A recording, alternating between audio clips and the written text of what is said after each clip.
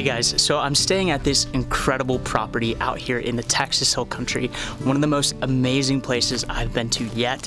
Yesterday I got to feed three massive longhorns, and I got to stay at this pretty cool tiny house behind me, so let's go check it out.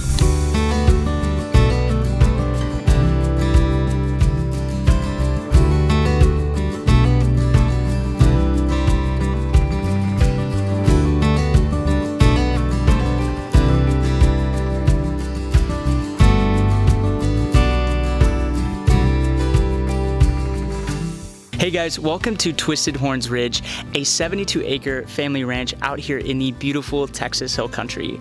We're only about an hour west of San Antonio and about a little over two hours from Austin. So given that it's so close to these major cities, I think it's a perfect weekend getaway. So the biggest draw for me to come to Twisted Horns Ridge is the amount of animals that they have here. So they have about 40 goats, they have tons of black buck antelope, they have all kinds of birds birds that you can imagine, including about six hummingbirds that have been flying around me this whole time, trying to prevent me from filming this.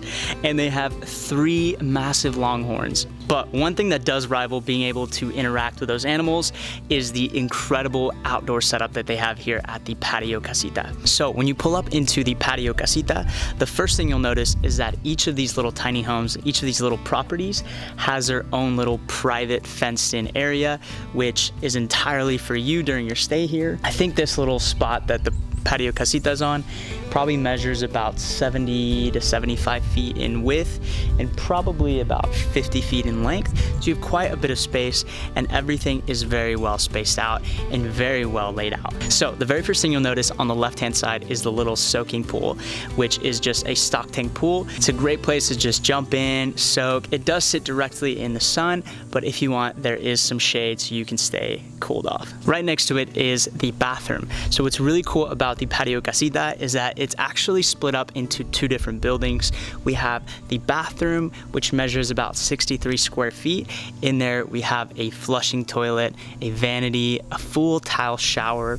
It's plenty of space in there. It's totally private for you, for your stay here. And then the main house, the main living area features the sleeping area, the kitchen, a little dining area, and that measures about 171 square feet, giving us a total livable square footage of 234 square feet. Now in the far left corner of the property is probably my favorite thing of this entire patio casita, and it is the outdoor shower. So we have dual rain showers so that two people can shower, and on the right hand side, we have a soaking tub, which is super cool. I went out and took a shower last night. It was a perfect temperature just as the sun was coming down. Apparently, it's also a great place to take a shower under the stars.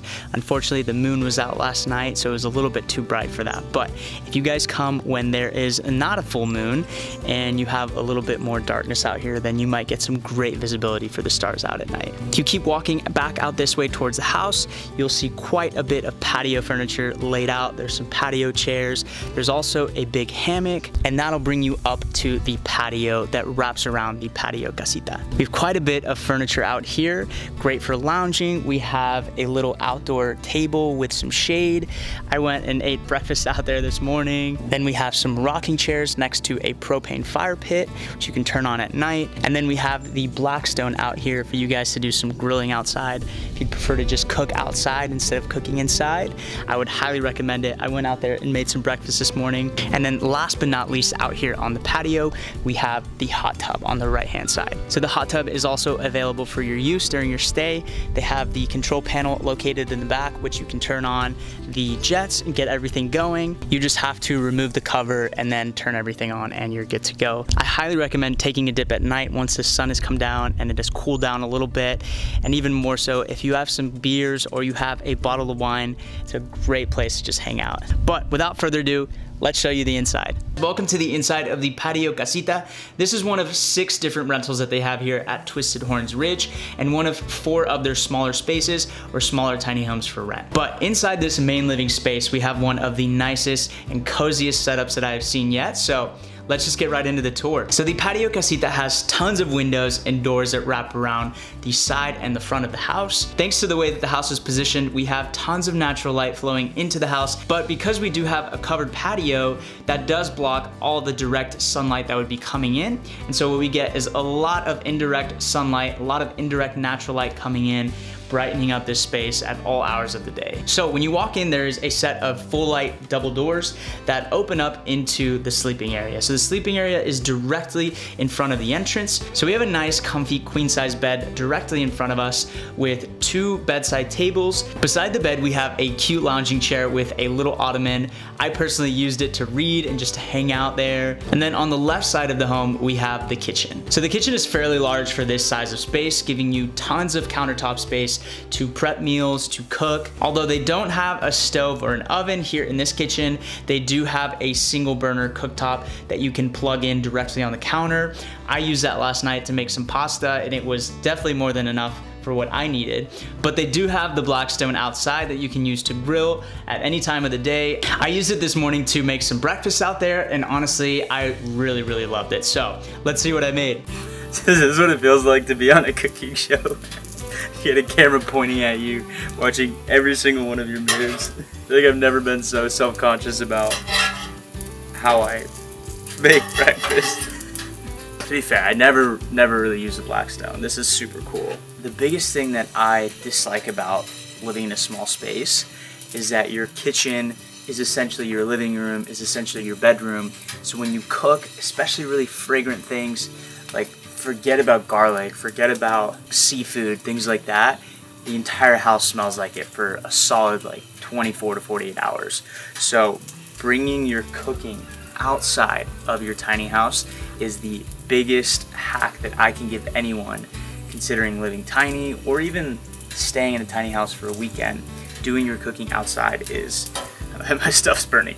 Doing doing your cooking outside is the biggest hack that I can give you guys to just have a, a more pleasant experience.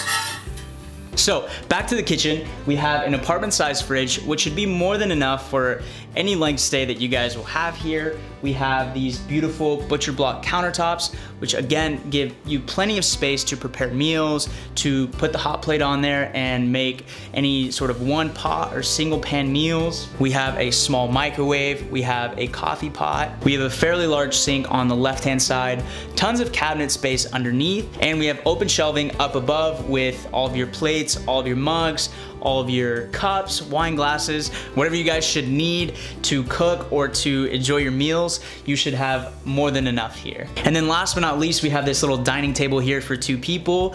I love that it is positioned on this side of the house next to the windows. It's a great place to just hang out and look out outside at all the birds just flying around, enjoying your breakfast, enjoying some coffee there. And then lastly, my favorite part of the inside of the patio casita is actually this pine tongue and groove ceiling.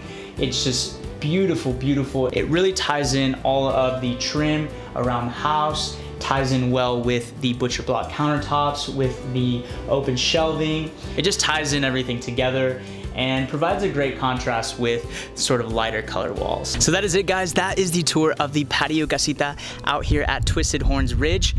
Fortunately, I'm gonna be out here for a couple more days. Tomorrow, I'm gonna be staying at the Hill Country Tiny Home, so I'm gonna be filming a full tour of that house as well. So stay tuned for full tours of a couple more houses here. I will go ahead and leave the Airbnb links to the Patio Casita in the description below so you guys can check it out and see if there's any availability in the coming weeks, coming months to come out here. I highly recommend it, seriously. I had so much fun visiting Twisted Horns Ridge being able to go and see all the animals, all the goats, all the antelope, feeding the longhorns. such, such an incredible experience being out here and I, I could not recommend it enough. So, and lastly, if you guys enjoyed this tour of the Patio Casita, I would be super, super grateful if you guys left this video a thumbs up and considered subscribing so that we can connect with more people that would be interested in these tiny home tours. So with that, I will leave you, but stay tuned because next week we're gonna be visiting another tiny house here at Twisted Horns Ridge, and I will see you in the next one.